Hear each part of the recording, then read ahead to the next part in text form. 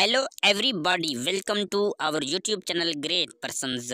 We are informing you with deep hearts that uh, daily a celebrity leaves this fake world and uh, today we are going to tell you about the two celebrities. First one is Teddy Savage and second one is uh, Dennis Budimir.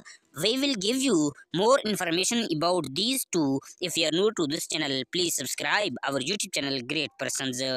Dear uh, viewers, uh, Teddy Savage was born in 1937. Uh, he was a very good sportsman uh, and he has died in January 2023. Our deep condolences with his family and friends. uh, and Dennis Budimir was a good person, uh, was a good musician, was a good singer. He was born in June 1938 uh, and he was died in January 2023. He was a very good person. Our deep condolences with his family. Thanks for watching this video.